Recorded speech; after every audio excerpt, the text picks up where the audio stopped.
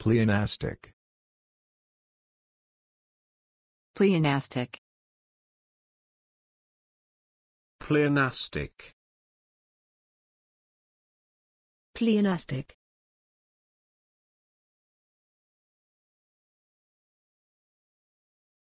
It is pleonastic to refer to a class action as a class action suit. It is pleonastic to refer to a class action as a class action suit. Generally the future is assumed, making most constructions of this sort pleonastic. Generally the future is assumed, making most constructions of this sort pleonastic.